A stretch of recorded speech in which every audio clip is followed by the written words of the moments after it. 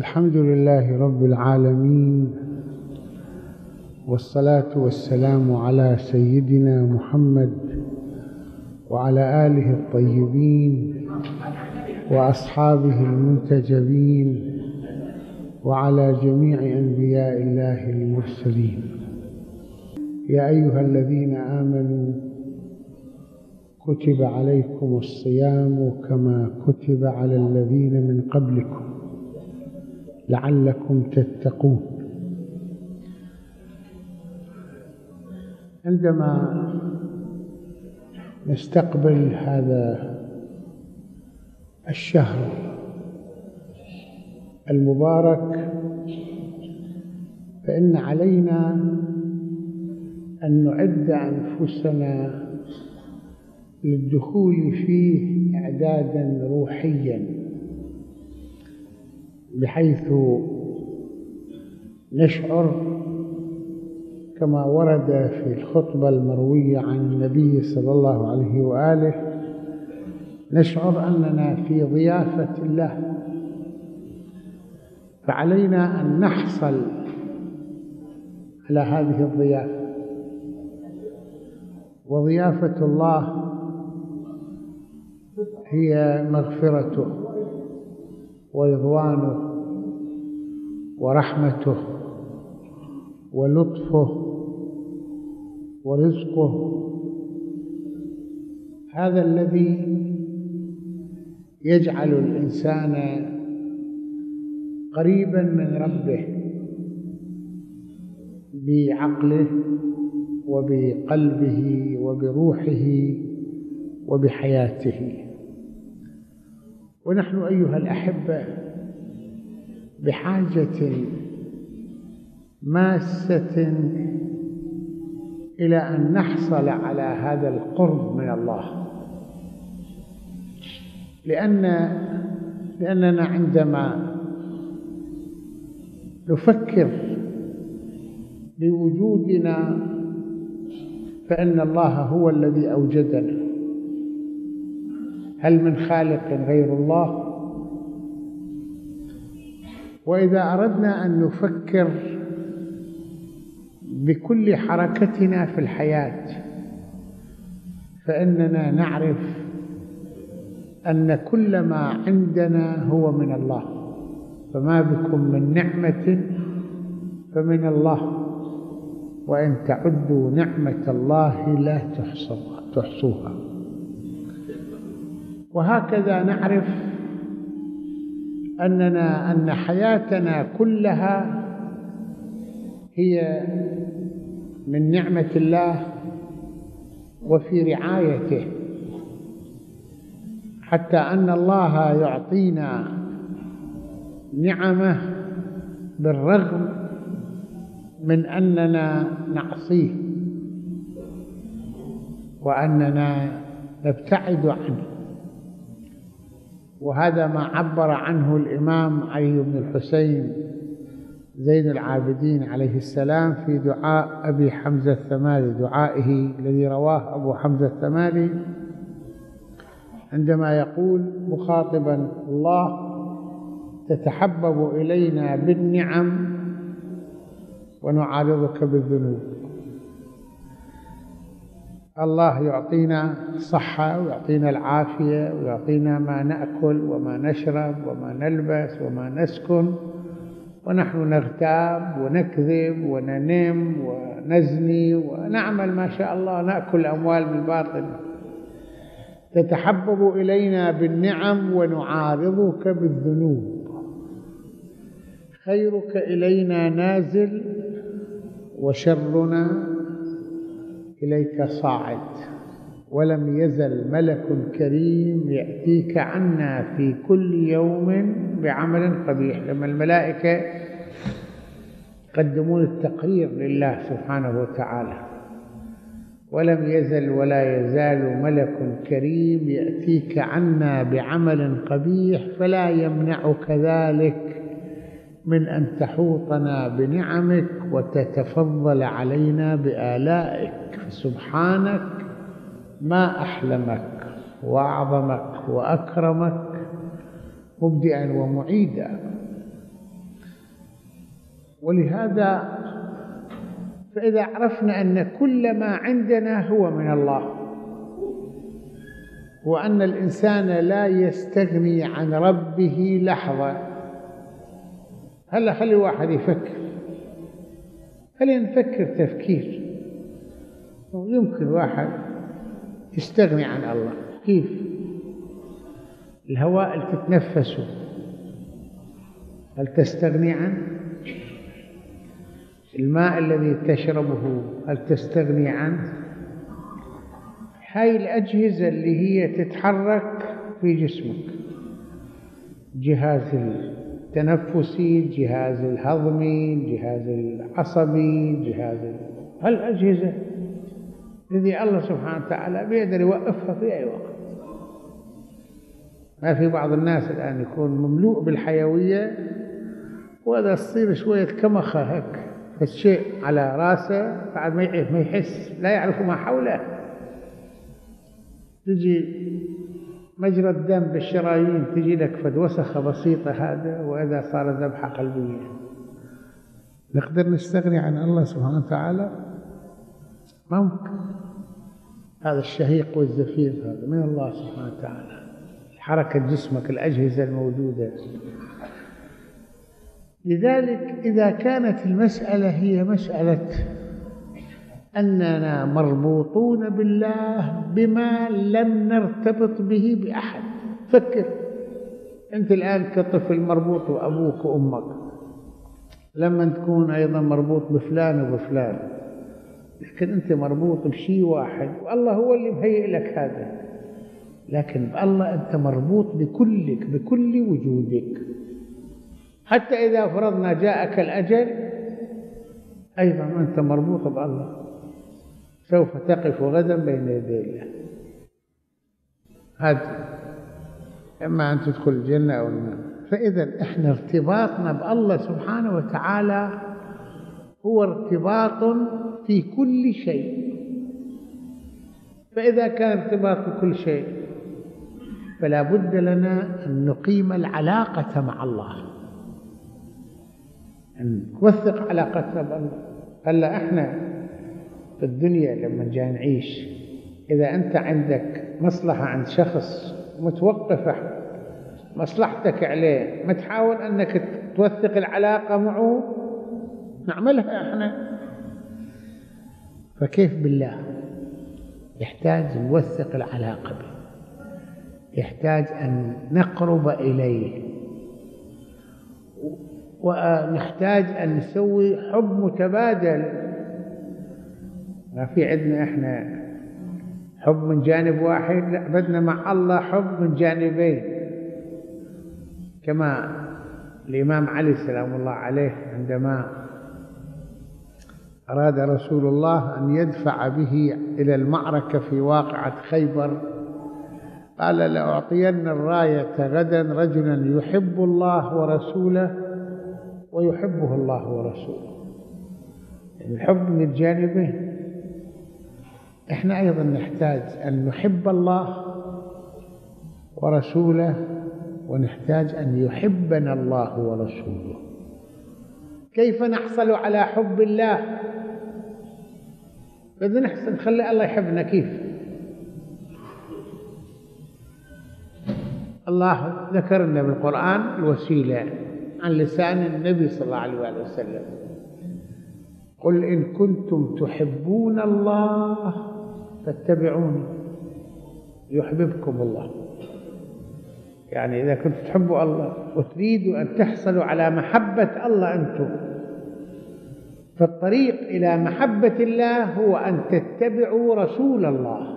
لأن رسول الله يبين عن الله. وش ما يمثل شخص النبي. عظمته أنه عبد الله ورسوله. ولذا هو في كل ما قاله هو من الله سبحانه وتعالى. ولذا من أطاع الرسول فقد أطاع الله لأنه هو ينبئ عن الله فاتبعوني يحببكم الله أن تتبع رسول الله الذي يبين لك ما أمر الله به وما نهى الله عنه حتى يحبك الله سبحانه وتعالى. لأن الله يحب المتقين. الله يحب التوابين. يعني الناس الذين يخطئون ويسيئون ويتوبون إلى الله. الله يقول أنا أحبهم. إن الله يحب العبد المفتن التواب. الله لا يحب الخائنين. الله لا يحب الكاذبين. الله يحب الصادقين الله لا يحب المجرمين الله لا يحب الظالمين. ذني كلها كيف أنك أنت الآن تحب الله وتظلم؟ تظلم. مش معنى تظلم؟ بس تصير حاكم يعني تظلم. لا كل واحد بيحكم بحسبه. تظلم بأن تأخذ حق من له حق عليك. تظلم بأن تعتدي على الناس الذين هم ضعفاء أمامك. هذا المسألة تحتاج أيها الأحبة إلى مناقشة مع النفس؟ لأن إحنا بشكل عام مشغولون عن أنفسنا. أنا بلكم هلا أنا وأنتم ما بدي أعمل حالي واعظ لكم. أنا عندي نقاط ضعف. اليوم من الصبح لهلا. كل إنسان مشغول. في واحد مشغول بعمله تجارته مشغول بلقاءاته مع الناس مشغول ببيته. في واحد هيك من عندنا يفكر أني أنا أجلس مع نفسي لأسأل نفسي عن نقاط ضعفها وعن نقاط قوتها. كم كذبة كذبت اليوم؟ كم غيبة غتبت اليوم؟ مثل هكذا. كم ظلم ظلمت السنة؟ كم واحد سبيته اليوم؟ خصوص بالبيت خصوص بعض الناس هي لازم تنتبهوا لها. إذا صام يحمل الله جميل ويحمل الناس جميل صار نرفوز ليش والله صايم؟ شوف مش هيك؟ بعض الناس يضرب يكسر الصحون. يضرب مرته يضرب أولاده يضرب والله شو أنا صائم؟ أنت صائم لئلا تفعل ذلك. مش صائم لتفعل ذلك. لذلك نحتاج أيها الأحبة مناقشة مع النفس. علينا أن نكون أصدقاء أنفسنا. أصدقاء أنفسنا مو معناها بس نطعميها أكل طيب ونشربها شراب طيب نعطيها لذة طيبة لا. صديقك من صدقك لا من صدقك. ان نجلس مع النفس ونتحكي مع النفس هذه تضرك ما في واحد يقول لك هذه بتضرك وهذه بتنفعك.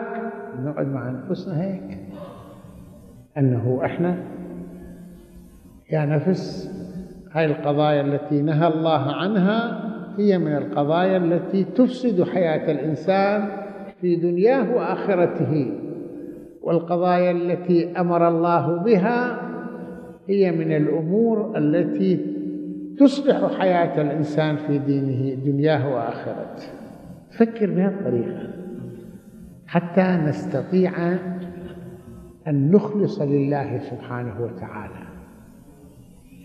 أن نخلص له في أمورنا. وهذه الشيء اللي أنا أبين لكم إياه ليس سهلا. صعب. مش سهل. حكي سهل. هذا يحتاج إلى أن يفهم الإنسان نفسه وأن يحاسب الإنسان نفسه وأن يحاكم الإنسان نفسه وأن يجاهد الإنسان نفسه. أنه اجعل نفسك عدوا تجاهده. إن النفس لأمارة بالسوء إلا ما رحم ربي هذا الشهر أيها الأحبة هو مثل ما تحدثنا في يوم الجمعة هذا شهر الموسم. بدنا نتاجر فيه تاجر الله تجارة مع الله. قل هل أدلكم على تجارة تنجيكم من عذاب أليم؟ التجارة لله.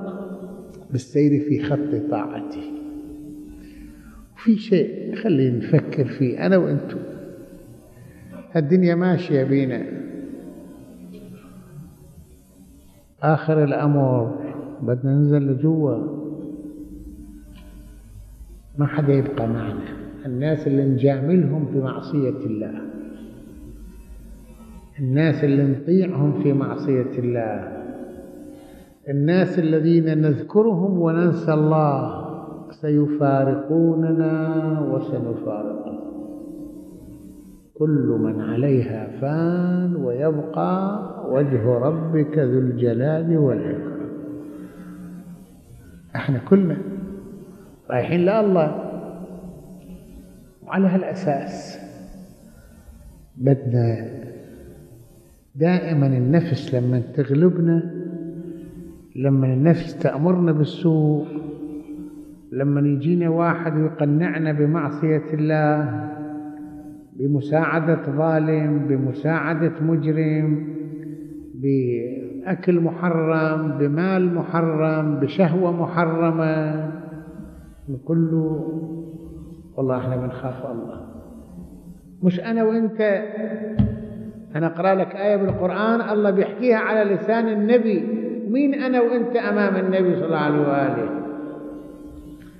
قل إني أخاف إن عصيت ربي. قل الله يقول له للنبي احكي مع الناس عندما يدعونك إلى أن تعصي الله وإلى أن تجاملهم في الانحراف عن خط الله. قل للناس أنا مش تعتبروني بس أنا نبي محمد لا أنا إذا عصيت.